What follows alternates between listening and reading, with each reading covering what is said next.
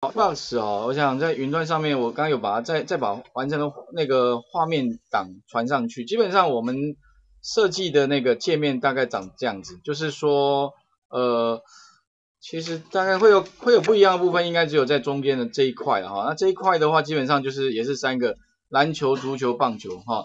那里面放的话就是有放，呃，这个啊名称的话，我取 CB 零呃 CB 一二三了哈。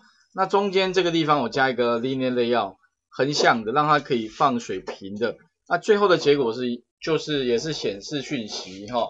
那不过呢，我假设这个布局完之后哈，我要来撰写，当然多国语系部分各位可以试试看哈。这个这这个部分也可以。那我需要的结果是类似这样，就是当我打勾的话，它不是那么简单的，不是说呃我喜欢的球类运动打勾一个的话，你还要记下来。它是几个项目，打勾一个就篮球，共一项。那打勾足球要篮球、足球共两项。那最好这个中间还再加个顿号之类的哈。然后再打勾一项就是篮球、足球、棒球共三项。那用什么方式哈？呃，可以让它打勾的时候顺便帮我计算总共有几个打勾，对不对？所以当它有 check 的动作的时候。变成你可能需要加一个计数的啊，count 的那个一个变数，那 count 就加一了，好加加就对，count 加加，然后呃再来打勾就要再加加，OK，然后再来就是说呢，把它有打勾的字串可以输出，那输出的方式的话呢，我程式码里面有写两种，一种是用那种呃就是字串的方法，比如你就打字上的篮球、足球、棒球，但是我们前面有讲过嘛。因为最后，当然，如果你有牵涉到多国语系的话，你必须要把这些字串写入到哪里呢？写入到你的字串资源档里面。所以界面做完之后的话，你要在这边有没有建你的那个字串资源档？那字串资源档里面的话，就是大概这几个啦，就是我把它改，我这边大概就是用，因为我懒得再想它的名称啊，所以我就哎用 ST 啊，String 一有没有？String 一的话就是最喜欢的球类运动。